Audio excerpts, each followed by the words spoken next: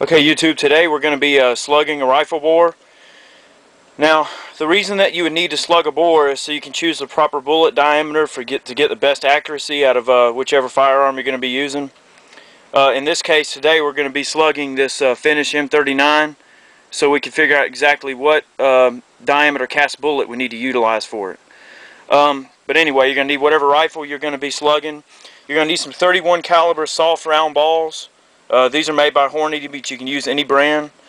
You're going to need some Lee case lube. You're going to need some patches. You're going to need your cleaning rod with whatever patch puller you're going to use. You're going to need a pair of dikes as well as one of these uh, quarter inch dowel rods that you get at Home Depot, Lowe's, or whatever. Because what you're going to do, you're going to cut this rod into about six or seven inch sections. So go ahead and do that first to get all your materials prepped.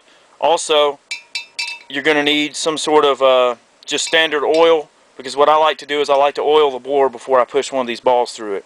So I'm going to go ahead and cut this rod into sections. We're going to get started. Also, I forgot to mention you're going to need your, uh, your calipers to measure your round ball when it comes out. And you're also going to need some sort of soft mallet. Now, this is a rubber mallet. This is not what you want to use. You don't want to use a rubber mallet. If possible, you need to use a plastic gunsmithing mallet. You know, that's made for this kind of stuff. This rubber mallet will work, but as you can see what we're, with what we're about to do, it just may require a little bit more time. But this should work just fine. So I got my mallet. You definitely don't want to use a metal mallet. So uh, we're going to move on to our first step. Okay, the first thing you want to do, um, some people might argue as to, you know, whether or not this is necessary, but what I like to do is go ahead and take a coat of Rem Oil or Break-Free and go ahead and coat the bore with a generous amount of oil, okay? Just pass the patch through a couple of times just to make sure you got a good coat of oil. And that's going to keep the uh, lead ball, you know, from getting stuck or anything like that, you know, or giving you any kind of weird readings. So we've got our um, oil inside the, the barrel. Alright, go ahead and take your um, 31 caliber uh, round lead ball and take you some case lube. Now if you're using something like Imperial Sizing Wax, you know, that that's not going to work. You want to use some sort of, you know, uh, soft liquid type lube. You know, either the RCBS case lube or, you know, here have the Lee. Go ahead and lube your lead ball. Alright, we're going to move on to slug this barrel. Alright, the first thing you want to do, you want to stand the rifle up in some secure fashion. Here I've got Jacob helping me hold it, but if you have to rig up some kind of vise or something, go ahead and do that. Start the lead ball in the muzzle end and with your soft non-marring hammer, hopefully this is going to work for us. We're going to go ahead and start the ball, ball down the barrel. Go ahead and flatten out the um,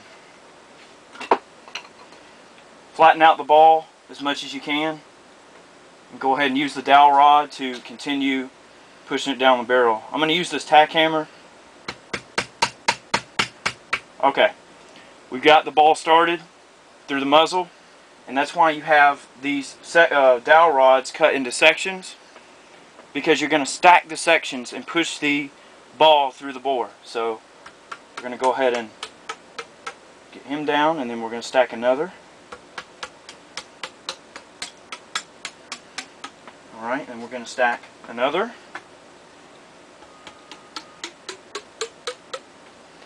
A musical instrument. Alright, stack another.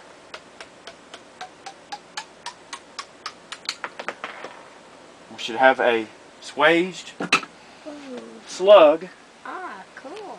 of the bore, and this should be give us our bore diameter. Can I have this? No, not yet.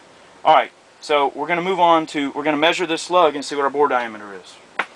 Alright, to get your uh, rod pieces out, just go ahead and push them out with the bore coated uh, well, the idea is to grab them, genius.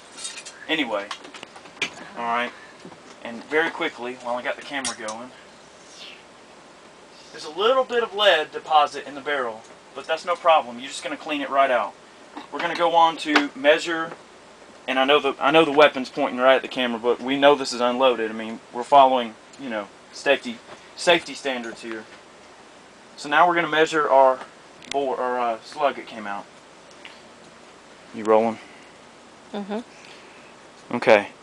Uh, M39 bore diameter is usually somewhere around 311. 310. So this Mosin Nagant slugs at 310, which means that a commercially available 311 diameter bullet should do just fine. Now I'm talking about cast bullets. Now jacketed bullets, this gun would likely not handle a 308 diameter very well in terms of accuracy. I could probably push a jacketed 311 bullet out of this rifle with no problem whatsoever and the accuracy would probably be very good. But a 311 diameter bullet dropped straight out of say an infield mold or even some of the 308 diameter uh, molds that Lee puts out, the 309 diameter, it'll drop a bullet that is say 311. That bullet as dropped can be shot straight out of this rifle and accuracy should be very nice. So that's how you slug a rifle barrel.